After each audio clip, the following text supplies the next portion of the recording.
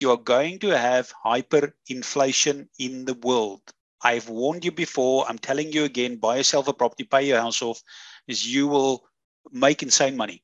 You don't want to keep on paying rent. You want to get into a house. Even if you get that house now, pay the interest rate, whatever it is, your inflation is going to eat that that uh, that payment up. Let's say, for example, if you buy a house now and the house will cost you eight hundred thousand dollars, okay, you take a mortgage out now, and let's say the mortgage, let's say if you take a hundred percent mortgage, that's fine, okay, if you can get it. Now, what's going to happen is, let's say two years pass.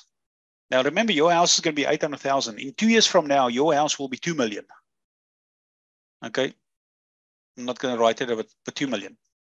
Now your your ratio well, let, us make it easier 1.6. Your ratio is now that you only owe the bank 50%.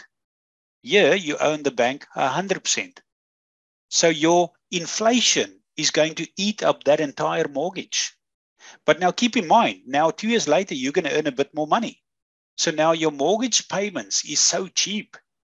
This is how they're going to destroy the poor as well as the middle class that do not have a property. You have to get rid of your debt. And I don't believe that Grant Cardone, where he says keep making debt in properties, and unless you can handle that, that's fine. But be careful of making all this debt. You know, it's not a good idea now to make debt. You need to get out of debt, get out of credit cards, get out of all these things. Start getting into cryptos, get the training done, invest and make money that never existed. Because remember, you need to understand that there is a pool of money lying there and if you're on the outside here and wonder, you know, shall I get in, shall I not? The people here, their circles are getting bigger and bigger.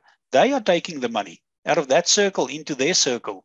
And the time point when you decide after a year to get in, what will happen is there's only going to be this little gap left.